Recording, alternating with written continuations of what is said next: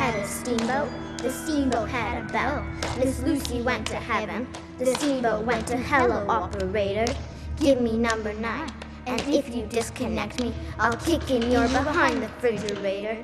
There was a piece of glass. Miss Lucy sat upon it. It went right up her. Ask me no more questions. I'll tell you no more lies.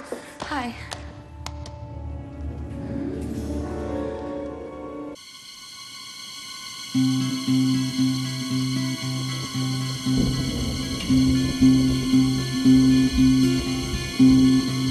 As I said in my last review, Children of the Corn 666 ended on a good note with a charismatic new villain, an open ending for our interesting new lead, and more than enough threads that they could have built a follow up story out of. Instead, they didn't. A young woman named Jamie arrives at the tenant slums on the edge of a city, where she tries to track down what happened to her recently missing grandmother.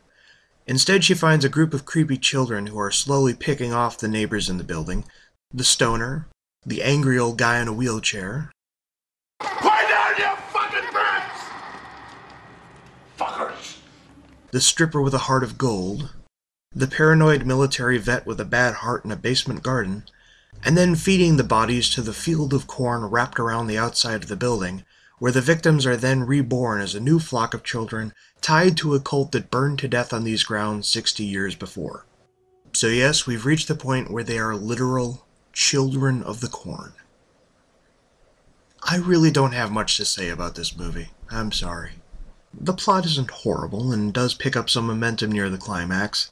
The acting is decent enough. The direction is capable and the atmosphere adequate. But it's just so bland and uninvolving and comes off exactly as what it is the latest cheap cash in they could slap together at a moment's notice. And Michael Ironside pops up as a crazy priest a few times, but he largely does nothing. Skip it. It's not awful, but it's at that painful level of mediocrity where it just turns into a numbing drone after a while. I watched this film with caffeine in my system after a good night's sleep, and even then I was starting to doze off halfway through. Música